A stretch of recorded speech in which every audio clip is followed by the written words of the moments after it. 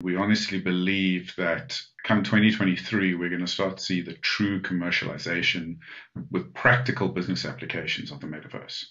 You know, with the work being done by a number of players, including Microsoft, um, to create standards across the metaverse industry, um, and a lot new, a lot of new players coming up. We truly feel that's going to make a big hit during 2023.